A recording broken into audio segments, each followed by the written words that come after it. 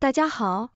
我是六度世界的六博士，我与小六子为大家主持《光影流转》节目，主要内容包括：一、功夫熊猫里的面条秘诀真的好吃吗？二、疯狂动物城动物配音员真模仿。三、银河护卫队中的树人只会说三个字。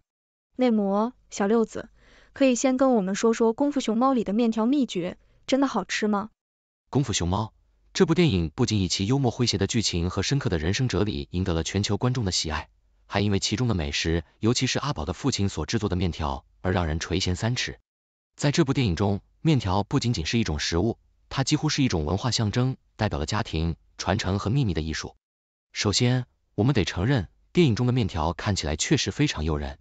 阿宝的父亲一只鹅自豪的宣称他的面条秘诀代代相传，这让人不禁好奇，这秘诀究竟是什么？它真的能让面条变得如此美味吗？在现实生活中，制作一碗好吃的面条确实需要一些技巧。面条的质量取决于面粉的类型、和面的技巧、面团的松弛时间以及煮面的火候等多种因素。而在《功夫熊猫》中，面条秘诀的悬念被保持到了最后，最终揭晓的秘诀实际上是没有秘诀。这是一种非常东方的哲学思想，强调的是个人的努力和内在的成长。如果我们从幽默的角度来看，阿宝的父亲可能是最早的营销大师，他通过创造一个神秘的面条秘诀来吸引顾客，实际上是一种心理效应。顾客们相信面条之所以美味，是因为有某种神秘的成分或者独特的制作方法，而这种信念本身就足以让面条在他们的心中变得更加美味。当然，我们不能忽视的是阿宝的父亲对面条的热爱和对食物的尊重。在现实生活中，对食物的热爱和投入的情感确实能够转化为食物的味道。就像我们常说的，用心做的饭菜最美味，这种情感的投入是任何技术和秘诀都无法替代的。总结一下，《功夫熊猫》里的面条秘诀，虽然在现实中可能并不存在，但它教会我们一个深刻的道理：真正的秘诀在于我们对生活的热爱和对自己所做之事的全情投入。而这不仅仅适用于面条，也适用于我们生活中的每一件小事。所以，下次当你吃面条时，不妨想想阿宝的父亲，也许你的面条会因此变得更加美味呢。谢谢小六子的介绍，那再跟我们介绍一下《疯狂动物城》，动物配音员真模仿。《疯狂动物城》（Zootopia） 是迪士尼在二零一六年推出的一部动画电影，以其精彩的剧情、生动的角色和深刻的社会寓意赢得了全球观众的喜爱。影片中的动物角色由一群才华横溢的配音演员们赋予了声音和生命，而这些演员们在为角色配音的过程中，不仅仅是用声音演绎。他们还在很大程度上模仿了这些动物的行为和特点，以便更加真实的传达角色的个性。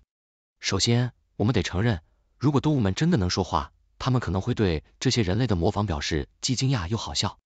想象一下，一只真正的兔子坐在电影院里，啃着胡萝卜，看着自己的同类朱迪·霍普斯 （Judy Hopps） 在大荧幕上展现出比兔子还要兔子的行为，可能会想：嘿，我们兔子可没有那么多阴谋诡计，也不会去当警察。不过那个跳跃动作还挺像的。而对于尼克·王尔德 （Nick Wild） 这个狡猾的狐狸，如果真有狐狸在场，他们可能会评价说，这个家伙的狐狸笑还挺到位的。但我们狐狸其实更擅长隐身和捉弄人。不过他那套西装确实挺符合我们狐狸的风格。配音演员们在为这些角色配音时，不仅要捕捉到动物的声音特征，比如兔子的活泼，狐狸的狡黠，还要通过声音传达出角色的情感和性格。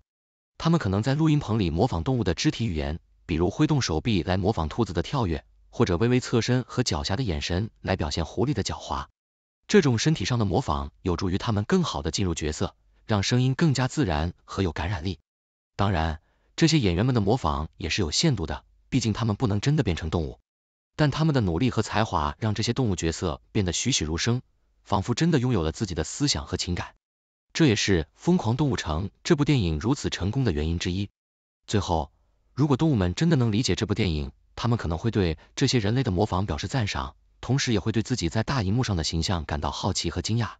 他们可能会说，这些两脚兽还挺有创意的，居然能想出这么多关于我们的故事。谢谢小六子的介绍，那再跟我们介绍一下银河护卫队中的树人，只会说三个字。当然，我们要聊的这位树人名叫格鲁特 （Groot），是漫威宇宙中银河护卫队 （Guardians of the Galaxy） 的一员。格鲁特是一种名为弗洛拉巨人 （Flora Colossus） 的外星树人种族，来自于普拉尼特 X（Planet X）。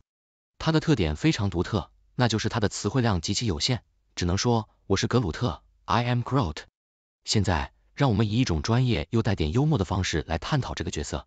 首先，从语言学的角度来看，格鲁特的沟通方式是一个极端的例子，展示了最小化词汇量在交流中的可能性。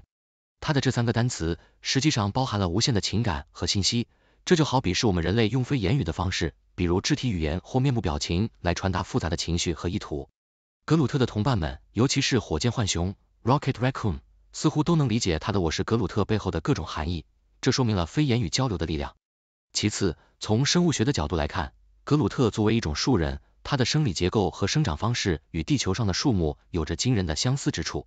它能够再生。甚至在被摧毁后，从一小段枝条重新长出来，这让我们不禁想到了地球上的柳树枝条或者多肉植物的繁殖方式。这种再生能力在生物学上称为萌生，是一种非常有趣的自然现象。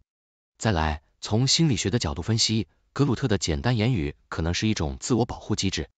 作为一名外星生物，他可能会感到孤独或被误解，因此选择了最简单的方式来与外界沟通，这样他就可以避免过多的社交压力。同时保持自己神秘而又亲切的形象。最后，从文化研究的角度来看，格鲁特的人气反映了现代社会对于简单、纯真和自然的渴望。在一个复杂且充满信息爆炸的世界里，格鲁特的简单和真诚成为了一种反疫苗，让人们感受到了一种来自自然的安慰和治愈。总之，格鲁特虽然只会说三个字，但他的存在却让我们反思了语言的本质、生命的奇迹、心灵的深处以及文化的影响。而且，不得不说。他的这个特点也为《银河护卫队》增添了不少幽默元素。毕竟，每当紧张的情节中突然冒出一个“我是格鲁特”，总能让观众会心一笑。谢谢小六子的介绍。总结一下，这三部电影都以其独特的元素和故事情节赢得了观众的喜爱。《功夫熊猫》教会了我们真正的秘诀在于对生活的热爱和全情投入。疯狂动物城通过动物的模仿和声音传达出角色的个性和情感，银河护卫队的格鲁特则以他简单而又有力的表达方式，让我们思考语言的本质和文化的影响。从深入分析来看，这些电影都在不同的方式下展示了各自的主题和寓意。